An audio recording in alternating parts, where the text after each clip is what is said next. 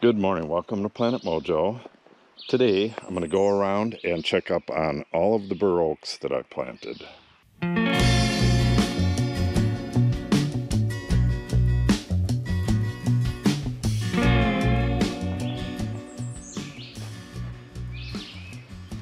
I planted 12 bur oaks last year. Those were four to five foot trees, I believe. And I think they were one to, no, one to two foot this year, something like that. And I planted 25 of them. And I don't know.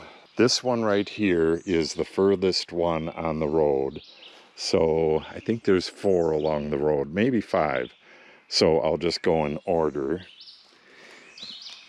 And it looks like we have a leaf coming out right there.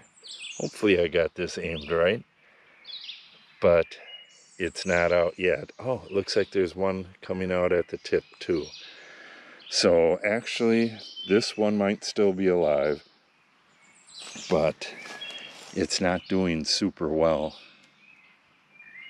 All right, I'm gonna weed this one and get on to the next one. All right, this is number two along the road. And I don't think this one made it. I'm to pull this grass, get it out of here, and then move on to the next one. This one might come. Looks like there might be some hints of green along the stem, but this top part is definitely dead. All right, let me weed this and get over to the next one. All right, this is the third one from the far end. And it certainly has growth, but it does not look good. I don't know what's wrong with it. Does it have some kind of blight? Looks like it was uh, chewed on by something, but it looks like it has more problems than that. again, iffy. So far, none of the trees along the road look very good. Yeah, they didn't have any uh, of the bigger trees like I planted along the road, and we'll check on them as well, but geez, these are not doing well. And I was really unhappy with this year's order I mean, some of them were just like six, eight inches long. Um, if you count the roots, I guess they were longer than that, and maybe that's how they they gauge the size of bare root trees. It would be a stupid way to do it, but maybe that's how they do it.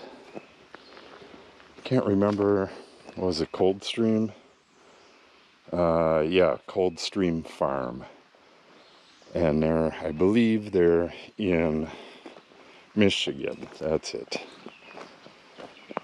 Okay. That was three. Here's four.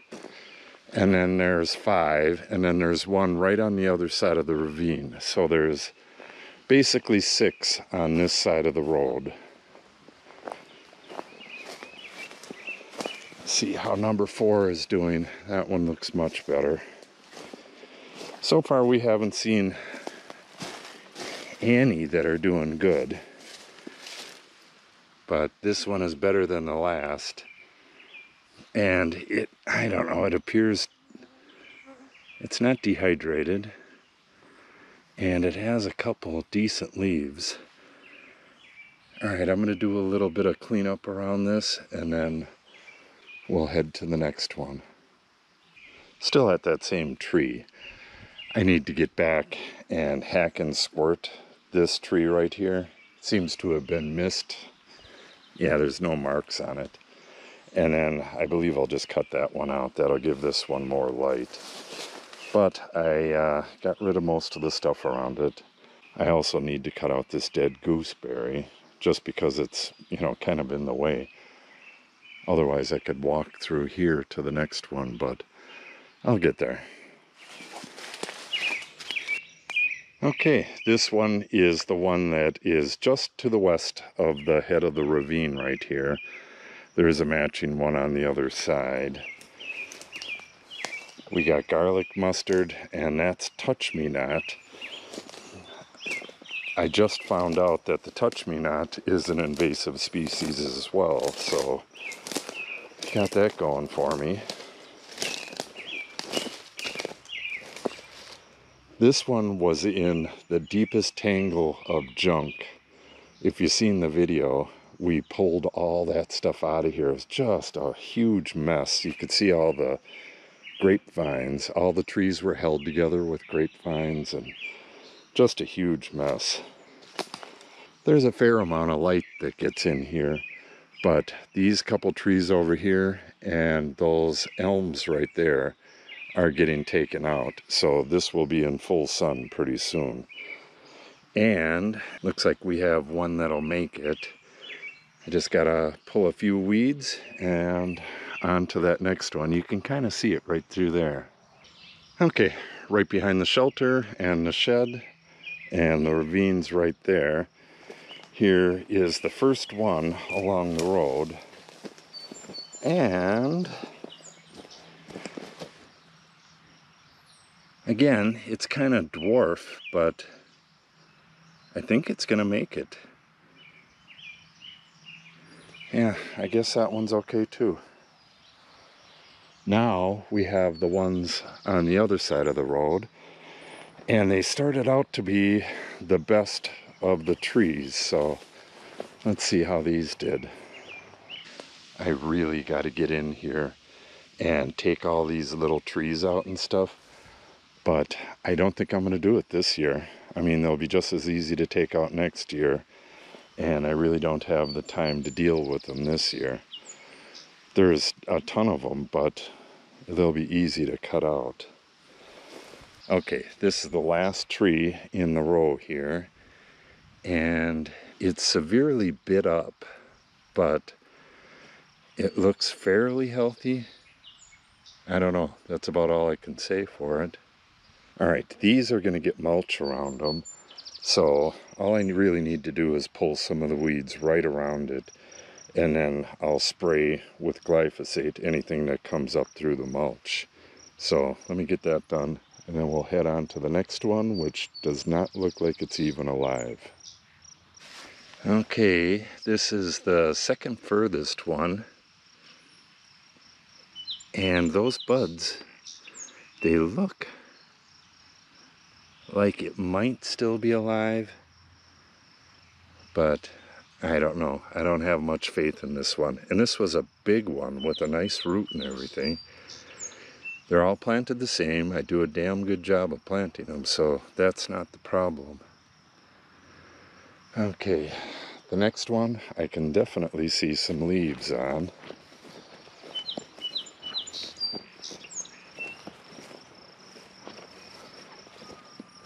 Alright, much better. Still eaten up pretty bad, but I mean, I can spray these too, and I probably should. Yeah, this one doesn't look bad. I've been watering these if they're not getting a full inch of rain a week. I've watered them, so they've been taken care of. I don't expect plants to do real well in their first year, but these are doing worse than I would have expected. But I think this will make it. We'll see. All right, this is the second one from the road, second one in. And it seems a little dehydrated, and that appears to be just a bare root thing. Once it starts growing its roots, um, they generally perk up pretty well. We'll go see the first year ones in a little bit. But if they're not healthy to start with, I don't know. Yeah, that looks kind of weird, this, this whole top part. Maybe this top part's going to die and it'll grow better down here. Who knows? We'll see a little bit later. I've never planted anything this small before, so only time will tell. Get right.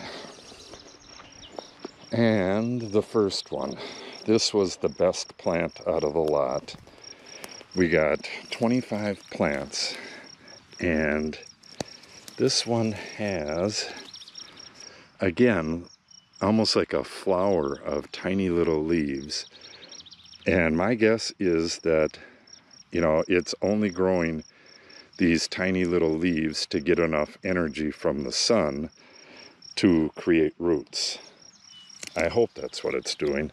And then once it has enough roots, the leaves will get a bit bigger.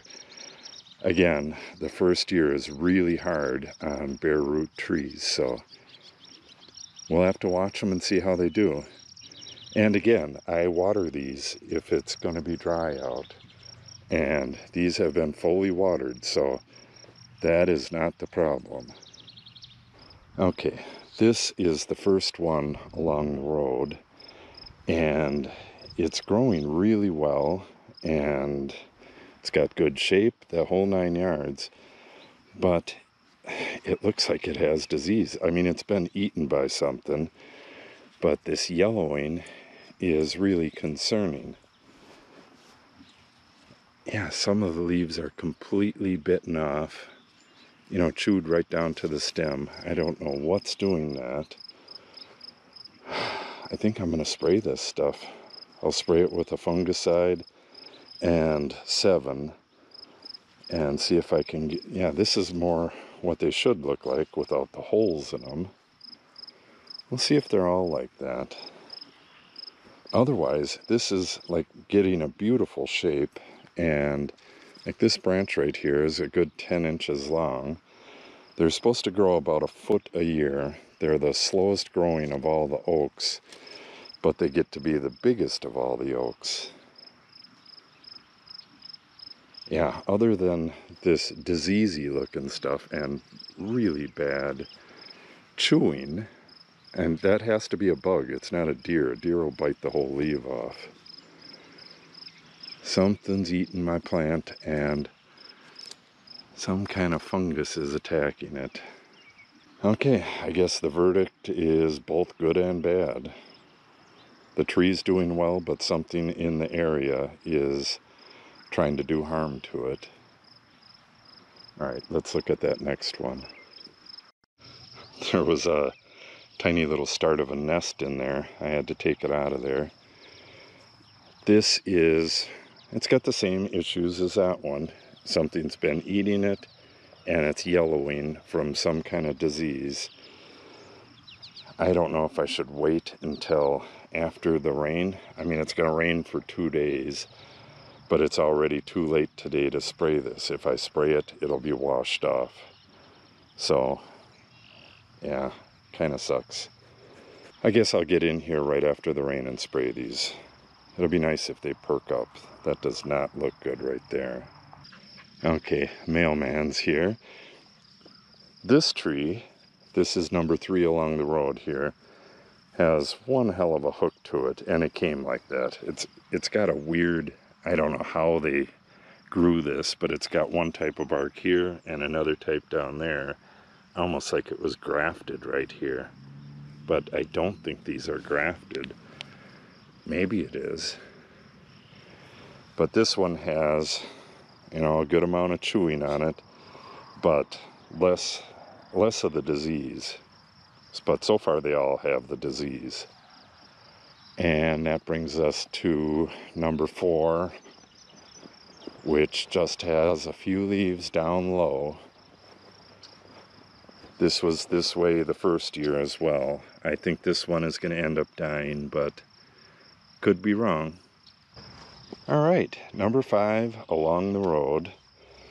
This one, and I believe it's the only one like this, has like scorch on the end of the leaves.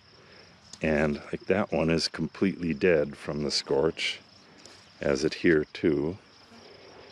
And this one's starting some of the leaves look, you know, semi okay, but a lot of bitten off stuff as well. Yeah, all in all, none of the trees look really good so far. And again, this was number five. So let's just go to number six right away. Number six, I believe is going to die as well. Again, I could be mistaken, but I mean, that looks like those for all the first year ones, just really distorted growth and black on the ends of the leaves, curled up. I really have no idea what is with these trees. This is number six and number four over there. They came from Coldstream like that though, so I have no idea. Again, yellow spots, that generally means fungus. So I will spray these with a systemic fungicide.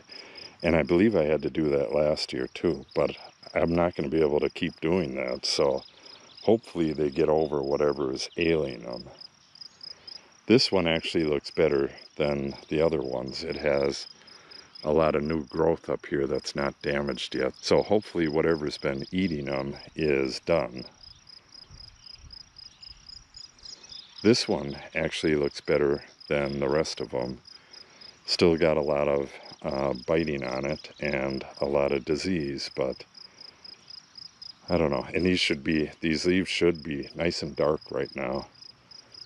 Maybe if I got enough time, I will get these sprayed before the rain. But I believe it would just wash right off. This one here looks better than all the other trees. The color is just so much better, but it still has the spots of fungus and it's still bitten all over the place. So I don't know. I really got to get these sprayed. Um, that one's nine. What is this? Eight 9, 10, 11, 12. Let's take a look at 9 real quick. Well, more of the same. Yeah, I don't like these spots. They're raised bumps. Kind of look like yellow zits. Kind of nasty looking. And we got a lot of curling. I really got to get these sprayed. All right, this one is 10. Same problems. A lot of biting, a lot of disease, or actually less disease than some of the others, and more biting. The color isn't all that great. And then we got two more here. All right, these are the trees in the pasture. By far the biggest ones. This one is now stand right level with it. It is exactly as tall as me, so it's about six foot four. And it has oh, nearly a foot of growth so far this year. And again, it's just got the same problems, but it's it's got fairly nice color to it. These should be a nice dark green. So I'm going to get in here and spray these with a fungicide before the rain, and then I'll spray them in a week or two again and see if I can knock down whatever's on them. They need to get a bit bigger so they're stronger. Then hopefully they can fend for themselves after that. Like I said, I can't spray these every year. If they're not strong enough to survive here, I'll have to go to another plan. And this is the last one, and I believe it's the tallest one. Yep, it's just a hair taller than that last one. And this one appears to be in better shape than all of the other ones. It's got some biting on it, but not all that much. It's got a whole bunch of full leaves that have no biting at all. And it's got fairly good color. Yeah, I would say this one's probably the best. And this one is the one that's directly between our house and our new neighbor's house. So that's a good thing we need to kind of block the view here. Well, that's good news. All right, there's three more trees over here, and then the rest are all down that way. What I'm going to do is mix up some fungicide and spray these bigger trees. Then I'll get to the rest of these trees.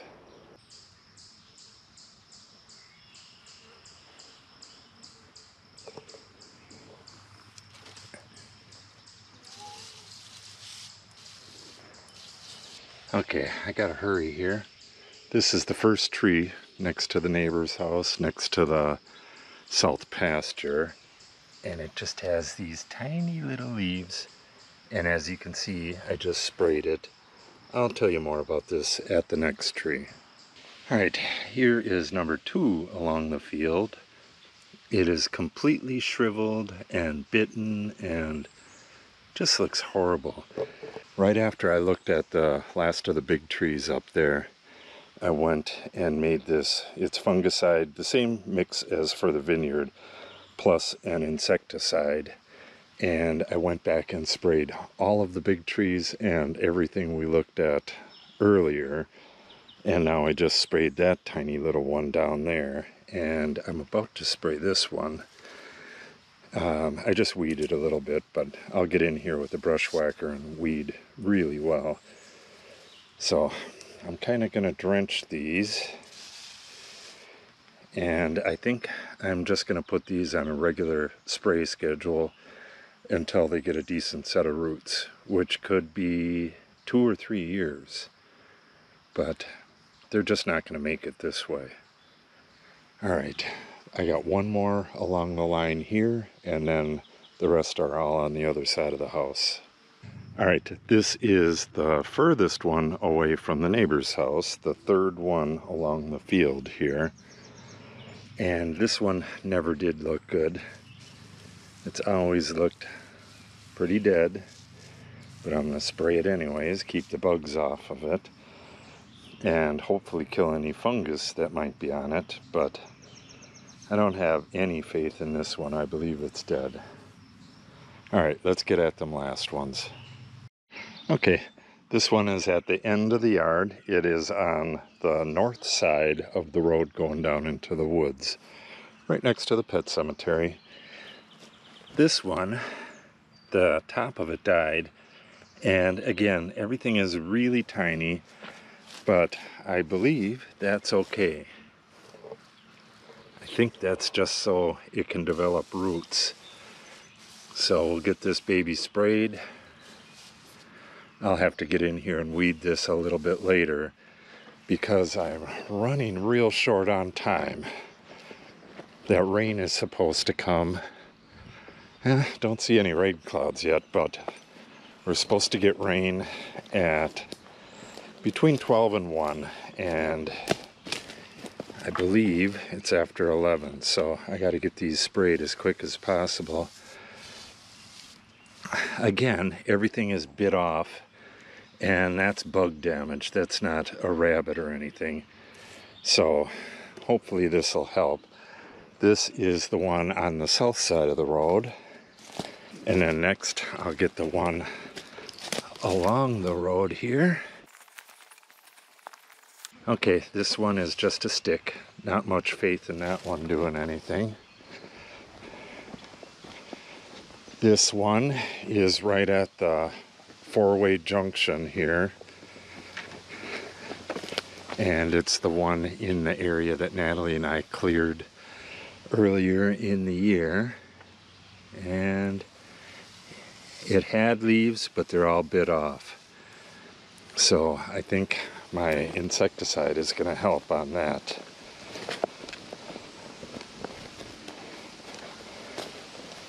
Yeah, these tiny little trees are very vulnerable to insects. Okay, this one is kind of the same way. I'll have to see what the interval is on this insecticide.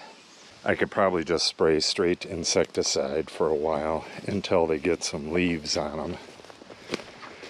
Okay, this one is by the old swing here. And yeah, this one has always been like this, never had any leaves. But again, we'll see. Maybe something will come of it. Okay, and then there is actually one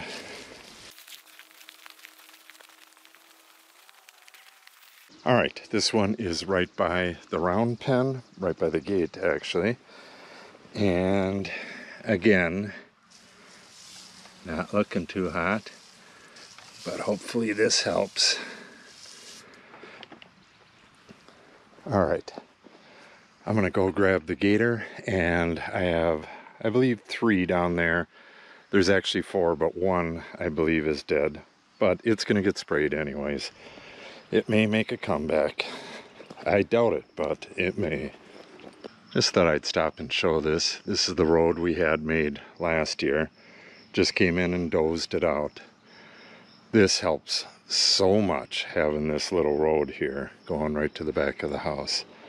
And this is the area that Natalie and I cleared earlier this year. I got to get back in here again and knock down all this broadleaf stuff, the invasives and the stuff that was growing here. But other than that, it looks beautiful. All right, let's get these trees sprayed. While I'm here, I'll show you what I sprayed with. Mancozeb, malathion, and mycobutanil, which is, this is Eagle brand, but that's straight mycobutanil. Okay, just a quick one on this. This is the one in the corner by the road, the cul-de-sacs right here, right next to the vineyard. It's never had a leaf, probably dead, but Gonna spray it anyways. All right, the vineyard is right there, and I'm just a bit down the rock road. And this is the tree at the edge of the woods. That's the one in the woods. And then we got one along the road down here. This is by far the best tree yet. It's been eaten on a bit, but most of the leaves are intact. All right, I'm gonna get this one sprayed and then head in there and check that one. Okay, and then in the woods, this looks a lot like the other ones. Just terrible. Dried out, yellowing, bitten. I mean, that looks pretty bad. All right, let's get it sprayed. All right, this is the very last one. That's that really nice one along the rock road. And this is the one right next to the rock road. And it doesn't look all that bad.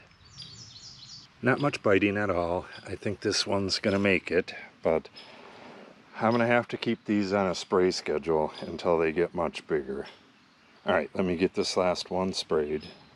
All right, I'm all done with the trees, and I was on my way back, and I found this. Ah, just great. Like the perfect spot to mess me up.